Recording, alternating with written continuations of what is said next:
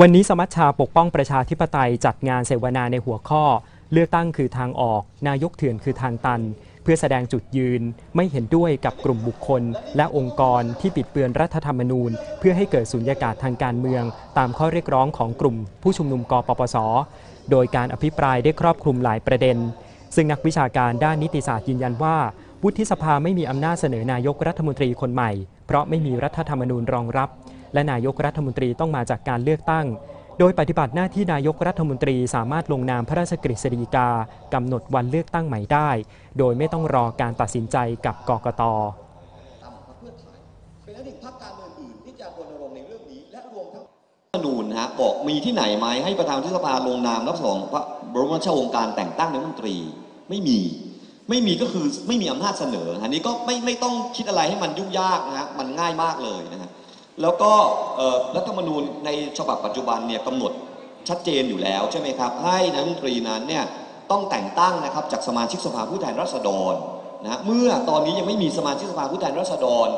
การแก้ปัญหาก็ง่ายมากฮะก็คุณก็ทำให้มีสมาชิกสภาผู้แทนราษฎรเสีย ผมไม่เห็นปัญหามันจะยากเลย คือทำไมเรื่องง่ายๆอย่างนี้มันคิดกันไม่ออกนะฮะ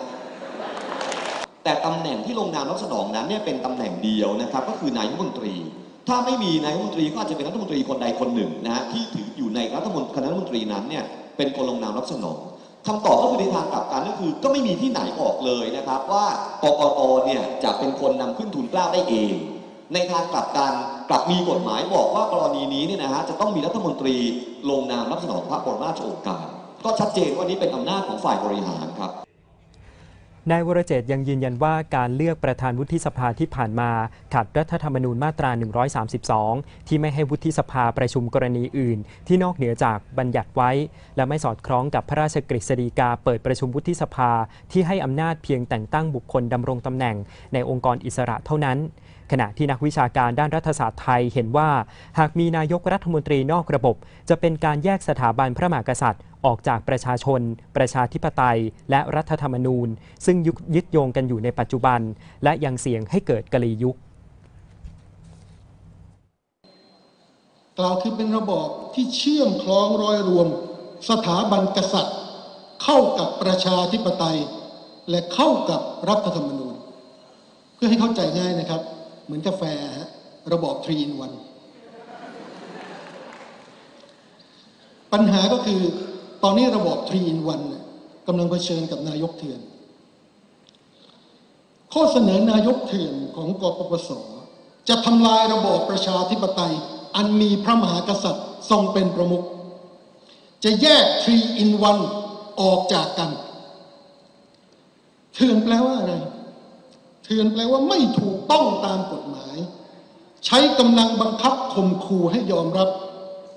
เราไม่ได้เลือก ไม่ใช่ของเรา เขากำลังทำให้ประเทศไทยมีรัฐบาลซ้อนรัฐบาลขึ้นมา สร้างภาวะรัฐซ้อนรัฐขึ้นมาดิฉันอยากจะบอกว่าประเทศไหนก็ตาม ที่มีรัฐซ้อนรัฐขึ้นมา ประเทศนั้น ก็กำลังเดินเข้าสู่กลียุคเต็มตัวนะคะมันมีตัวอย่างมาแล้วของประเทศเพื่อนบ้านนะคะ ที่ตกอยู่ในภาวะรัฐซ้อนรัฐมาเป็นเวลาหลายทศวรรษ ทางนี้นักวิชาการสมัชชาปกป้องประชาธิปไตยยังเรียกร้องให้ทุกฝ่าย กลับเข้าสู่การแก้ไขปัญหาในระบบ และเห็นว่าการบิดเบือนหลักกฎหมาย หรือวิธีการนอกระบบ จะนำไปสู่ความขัดแย้งที่รุนแรงมากยิ่งขึ้น